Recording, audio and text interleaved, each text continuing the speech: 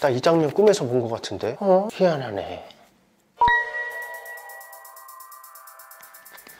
안녕하세요 유리나무 채널입니다. 오늘은 그 블루투스 헤드셋 제품들 중에 가장 가벼운 제품 중에 하나인 초경량 블루투스 리텍사의 글램빗 헤드셋을 가져왔습니다 2021년에 출시한 제품인데 비슷한 제품군으로는 아마도 한 번씩 들어보셨을 만한 그리고 제 영상에 한번 리뷰로 등장했던 골전도 헤드셋과 비슷한 제품이라고 볼 수 있는데 통화음질은 아무래도 조금 이질감 있다는 거. 약간은 동작하는 방식이 다릅니다. 지금 박스 개봉하면서 바로 시작하죠 이 제품은 무려 무게가 28g 28g이 어느 정도냐면 일반적인 종이컵 4g 정도니까 종이컵이 7개. 쉽게 생각해서 갤럭시 버즈가 본체와 이어폰 포함해서 45.6g 그리고 에어팟 프로가 51g입니다. 짐작이 가시겠죠? 자 열어볼게요. 박스는 엄청 꼼꼼하게 되어 있네 마스크를 보관하라고 사용설명서. 보관용 이게 왜 줬지? 본체는 그냥 굴러다니는 게 아니고 형틀에 이렇게 딱 들어있으니까 왠지 고급스러운 느낌이 납니다. 밑에 뭐가 있으려나? 오 충전기와 케이블까지. 충전기는 뭐 늘 똑같은 거니까 이거는 리뷰 안 할게요. 자 본체를 보면 저는 화이트 제품을 가져왔는데 지금 만져보니까 재질이 무광 재질. 여기는 약간 고무 처리가 되어 있습니다. 여기도 마찬가지 고무 처리 여기는 스피커 자리가 있습니다. 스타쇼 스마트 글라스 리뷰했을 때처럼 그런 스피커 자리가 생각납니다. 그리고 옆에는 로고처럼 보이는 거 버튼은 아닙니다. 그리고 이쪽에는 글램빗이라는 브랜드가 있습니다. 충전잭 있고 볼륨 버튼. 조작이라든지 그 버튼 배, 배치라든지 이런 것들은 굉장히 심플하고 단순하게 깔끔하게 되어 있습니다. 그리고 여기는 LED겠죠? LED 위치가 되어 있는 것 같습니다. 이런 비슷한 류의 골전도 이어폰이나 헤드셋들은 보통 30에서 40g 정도 사이인데 30g 이하로 만들었다는 것 자체가 일상생활에서 이질감이 느껴지지 않는 거부감 없는 무게인 것 같습니다. 그리고 이거 방수가 중요한데 그 일상생활 속의 방수 그러니까 우연히 비를 맞든 땀에 젖는 등의 외부 침투 정도는 막아주는 IPX 4등급의 생활방수가 적용됐습니다. 방수의 등급은 그러니까 우리가 요즘 뭐 스마트폰에서 말하는 IP67이라는 등, 뭐 IP68이라는 등 뭐 그런 숫자들 있잖아요. 앞자리에 있는 숫자가 방진을 이야기하고 뒷자리의 숫자가 방수 등급을 이야기합니다. 방진은 말 그대로 먼지 같은 거 유입되는 거. 그 다음에 뒷자리는 물, 수분 침투를 막아준다는 그런 방수 등급을 이야기합니다. 그래서 이 글램빗의 IPX4라는 거는 방진 테스트를 하지 않았기 때문에 앞자리 숫자가 없는 거예요. 그래서 X라고 표기되어 있고 뒷자리에 방수 테스트 4급을 받았다는 뜻이죠. 그렇다고 해서 야 씨 방진 되지도 않네 라고 생각한다기보다는 방수가 4급이구나 라고 생각하시는 것이 무선 이어폰 있잖아요. 이런 것들은 거의 방진 테스트를 하지 않는다고 합니다. 그래서 우리가 가장 많이 접하는 에어팟 있죠.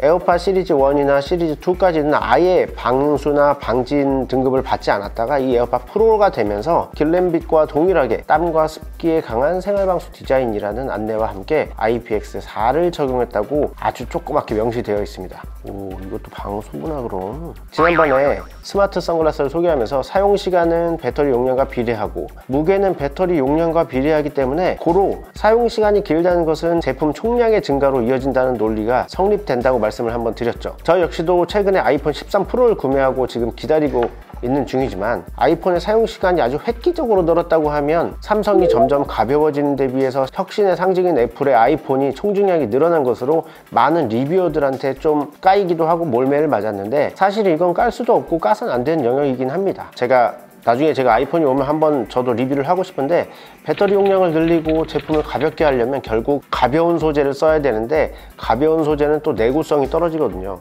그럼 가볍고 강한 걸 원하는 당신들은 티타늄으로 만들어 달라는 그럼 아이폰 가격이 산으로 가는데.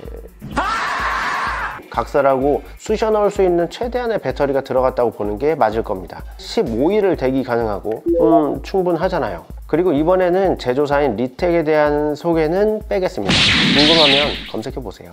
스펙은 이 정도면 됐고 특화된 기능에 대한 안내를 한번 해보겠습니다. 다시 지난 스타쇼 스마트 선글라스에 대한 언급을 하게 되는데 귀가 열려 있다는 것 그리고 이것이 안전과 연결이 된다는 것 이 글램빗도 장점으로 내세우고 있습니다. 이런 점은 이미 골전도부터 수없이 홍보해 왔으니까 또 말해봐야 필요 없을 것이니까 이해가 충분하시리라 보고 이 제조사 리텍에서 최신 기술이라고 주장하는 공기 진동을 말하려고 합니다. 이 점은 사실 저는 공기진동이라는 단어를 최신 기술이나 장점으로 보지 않는데요. 여러분은 공기진동이 어떤 특별한 기술이라고 보십니까? 저는 그냥 초소형 스피커의 일종이다 라고 생각합니다. 저는 일명 까는 리뷰를 하고 있으니까 제품을 제공해준 업체의 눈치 안 보고 이렇게 말씀드리는 겁니다. 외관으로만 봤을 때는 여기 있는 귀 있는 부분 이 부분이 그 골전도 이어폰보다는 조금 큽니다. 그 크다는 소리가 스피커라서 아마 그런 것 같아요. 이 스피커가 진동을 통해서 이쪽에서 소리를 내주는 방식. 이거 뭐 상식적인 영역인데 스피커라는 것은 정기적인 음향 신호를 플러스 마이너스를 활용해서 스피커의 음판을 떨게 만들고 그 떨림이 공기 중에 전달되어서 우리의 귓바퀴를 통해서 조금 더 커지면서 귀 속의 작은 고막을 다시 떨게 만들어서 소리를 전달받는 것이라고 알고 계실 텐데 공기 진동이라는 게 그냥 딱 그 이상도 이하도 아닌 겁니다. 어쨌거나 공기를 떨게 하는 거는 우리 초등학교 시절에 과학 시간에 했던 소리 굽쇠 기억나실 테니까 잔소리는 여기까지. 그리고 나름 경쟁력은 퀄컴 음원칩을 사용한다는 거. 여기 뜯어보면 있겠죠 뭐. 퀄컴이 뭔 소리지? 라고 할 수 있는데 우리 컴퓨터에서 스피커로 사운드를 만들어주는 반도체 중에서 리얼텍이나 뭐 퀄컴 이런 반도체 그냥 그렇게 아시면 돼요. 국룰이잖아요. 싸고 좋은 건 없다. 비싼 게 좋은 거고 좋은 게 좋은 거다. 그냥 우린 여기까지만 알면 됩니다. 그리고 이게 광고를 보니까 아주 신박한 내용이 하나 있어서 자세히 들여다보려고 합니다. PTT 무전 기능인데요. 스마트폰 처음 났을 때 다들 신기하게 한 번씩 써봤던 네트워크를 통한 무전기 장난감 Zello를 쓸 수 있다는 겁니다. 근데 이건 뭐 별로 장 점으로 언급하기는 어렵지 않나? 이유는 제 영상 중에 바이크용 헬멧 블루투스 제품 중 채터박스 리뷰 요걸 보시면 확인 가능합니다. 이게 one size 제품이라 제가 한번 써볼게요. 손바닥만 한데 지금 이게 제 머리에 들어갈 수 있을까 모르겠습니다. 어, 오, 쏙 들어가는데? 목 부분. 오히려 여유가 있어. 이렇게 걸고. 자, 이렇게 사용할 수 있고, 어, 제가 봤을 때는 이거 전선이랑 같이 철심이 들어가서 이렇게 텐션이 있는 것 같은데 너무 과도하게는 안 하는 게 좋겠죠. 그리고 같은 재료로 여기에 되어 있는데 요건 이제 세로로 꺾여 있어 가지고 펼쳐지진 않는데 역시나 이렇게 넓적한 부분으로는 잘 접히는 그런 형태입니다. 귀에 잘 맞게끔 안쪽으로 잘 말려 있다는 거. 한번 휴대폰하고 한번 연결을 해볼게요. 뭐 전화기 버튼 길게 누르면 되겠죠 뭐. power on이라고 나왔고 역시나 블루투스 제품 다 똑같은 것 같아요. 그냥 길게 누르면 pairing으로 들어옵니다. 글램빗 나오겠지 뭐. LTK 100P 코드명이 나오네요. 어, pairing connect 됐다고 영어로 말합니다. 영어로. 뭐 버튼이라든지 이런 것들이 조금 단순해서 저는 오히려 더 좋은 것 같긴 해요. 물론 이제 뭐 음악을 재생한다든지 할 때 뭐 두 번 누르고 세 번 누르고 이런 건 있겠지만 사실 이런 거 하면서 누가 그거 다 외우고 있겠습니까?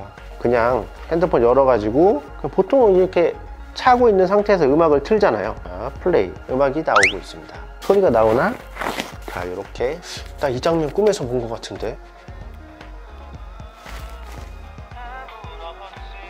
어? 희한하네. 그 약간 골전도 헤드셋의 뭐 불편한 점이랄까 단점을 보완한 제품이 이런 스피커 방식의 헤드셋이 아닌가 싶습니다 우리는 보통 오른손잡이가 많으니까 오른쪽에 버튼을 다 배치한 것 같습니다 뭐 여기 버튼 있구나 느껴지고 여기 버튼 있구나 느껴지고 여기 뭐 볼륨 있구나 이렇게 느껴지고 다 느껴집니다 굉장히 그냥 단순하고 깔끔해요. 저번에도 한번 말씀드렸듯이 이런 타입의 이어폰 같은 경우는 한쪽을 잃어버릴 수도 있고 그 다음에 어디 보관이 어렵거든요. 저도 지금은 보여드리려고 이렇게 까서 가져왔지만 여기다가 줄 달아 가지고 잊어버릴까 봐 어디다 놓고 그렇습니다. 근데 이런 거 같은 경우는 뭐 장점이 있잖아요. 보기엔 이렇게 보여도 목에다 이렇게 걸어놔도 되고 뭐 이런 부분이 전화 왔다. 전화 받아볼게요. 아니 괜찮아? 이렇게 유튜브를 본다고 지금? 아 잘했어. 자 지금까지 간단하게 리텍이라는 국내 진동벨 회사에서 만든 순수 국산 브랜드 블루투스 헤드셋을 보았는데 이 제품은 현재가가 지금 판매 가격이 국내 어디에서도 동일한 가격에 팔고 있기 때문에 본 제품이 필요하신 분이라면 어디 특정 쇼핑몰이 더 싸다 뭐 이런 건 있을 수가 없으니까 꼭 필요하신 분들이라면 넉넉한 재고 물량과 원활한 배송 서비스를 받아보실 수 있는 곳에서 구매하셔야 delay 없는 배송을 받으실 수 있다는 것을 말씀드리면서 저희 쇼핑몰 샵 유리나무에서는 런칭 기념으로 현재 전 제품 무료 배송 서비스와 함께 회원 가입과 함께 제공되는 포인트를 활용해서 더욱 알뜰하게 쇼핑할 수 있는 기회도 있다는 점을 안내해 드립니다. 자, 본 영상을 끝까지 시청해 주신 여러분들께 감사드리면서 본 영상이 도움이 되셨다면 구독, 좋아요 버튼 눌러주시고 더 다양한 볼거리와 정보를 얻어가시기 바라겠습니다